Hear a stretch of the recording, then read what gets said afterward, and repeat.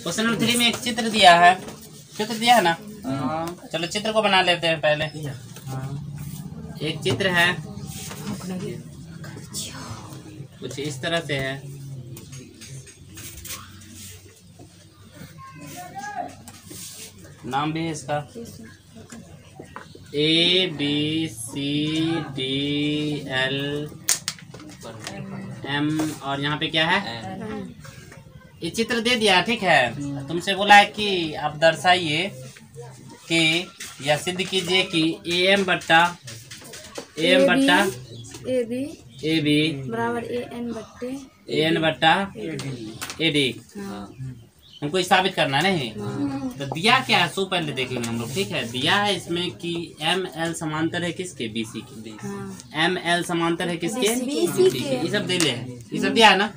चलिए गिवन लिख लेते हैं वो। चलो यहाँ से स्टार्ट करते हैं। गिवन गिवन में दिया है कि एम एल समांतर है किसके? सी बी के। तथा एन एल समांतर है किसके? सी डी के। दिया है दो चीज़? ये दो चीज़ दे लेके अपना मन से लिखे हैं तब नहीं सिद्ध करना है। हाँ। तो सिद्ध करना है तो ये तो पहले ही लिख दिए वो। फिर से बाद में दिखाता है लेकिन। तो सिद्ध करना है कि एम बट्टा?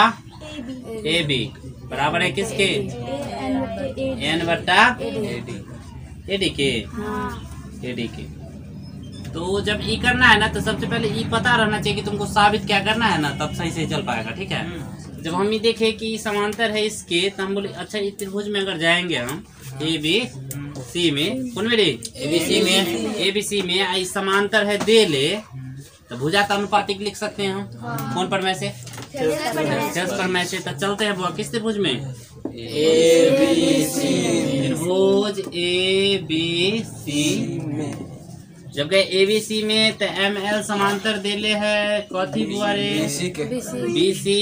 तो थेल्स पर में क्या कहता है? अरे थेल्स पर में कुछ कहता है ना? क्या कहता है? भुजा अनुपातिक होता। है भुजा कथी होता? है अनुपातिक होता है ए एम बट्टा। M B. अच्छा हाँ बराबर। ए एल बट्टा।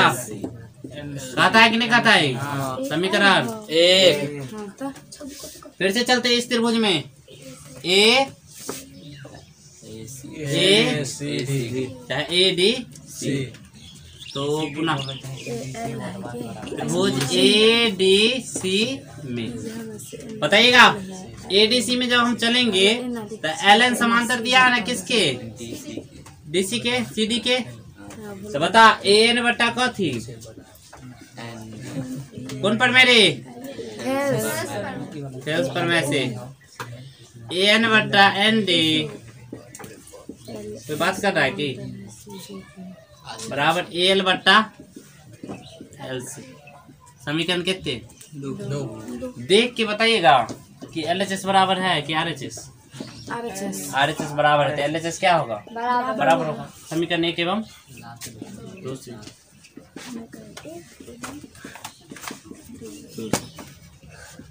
जब आर एच एस बराबर है तो एल एच एस बराबर करने में कोई ऐतराज नहीं होना चाहिए। एन बट्टा कथी एन डी? अच्छा अब बताइएगा जो हमको साबित करना था वो आया? नहीं। आया। तो इसको क्या करना पड़ेगा? उलट के एक जोड़ना पड़ेगा। दोनों को उलट के कितना जोड़ना पड़ेगा? एक जोड़ना पड़ेगा हाँ दोनों को उलट के कितना जोड़ना पड़ेगा? दोनों को तो उलट दीजिए। एम बी बट्टा कथी लिख देंगे। A M plus one N D बट्टा कथी एन प्लस कितना? वन समीकरण दोनों की तरफ़ कुछ भी कर सकते हैं ना? दोनों तरफ़ एक जोड़ दिए। और लिख दे बार हाँ याद रह जाए ना। अच्छा। दोनों तरफ़ एक जोड़ एक जोड़ने और उल्टा का अच्छा उलट कर। उलट कर दोनों तरफ़ एक जोड़ने पर ना डे? उलट कर। लो उलट कर। तूने उलट जाना। इसी को उलटना है ठीक है। आगे चलते हैं बुआ जोड़ते हैं इसको। एम को एक बार पढ़ेंगे तो एम आएगा। हाँ। तो बोल एम बी प्लस क्या लिख सकते हैं? एम। एम बी प्लस क्या लिख सकते हैं? अब बट्टा में एम रहेगा कि भाग जाएगा? रहेगा। रहेगा। एकरा कहीं नहीं बगान एन डी रहेगा लेकिन एन को एक बार पढ़ेंगे तो एन आएगा ना? एन डी प्लस कथी लिखेंगे? अब बट्टा में कथी लिखा थे बुआ एन कोई प्रॉब्लम परेशानी? चित्र आइए चित्र चलते। M B plus A M M B plus A M को लिख सकते हैं। क्या लिख सकते हैं? एन डी प्लस एन को लिख सकते हैं। लिख सकते हैं कि नहीं हाँ। बस ए बी बट्टा क्या हो जाएगा? ए एम ए बी बट्टा क्या हो जाएगा? एम यहाँ पर क्या हो जाएगा? ए डी बट्टा कथी? एम यहाँ उल्टे थे फिर उलट दो। एम बट्टा कथी? बराबर ए एन बट्टा एडी एडी साबित करना था बुआ साबित हुआ। बात समझ में आई है? कोई परेशानी दिक्कत? ये तो बोलो। है। ना? चलिए नेक्स्ट क्वेश्चन पे चलते हैं क्वेश्चन नंबर फोर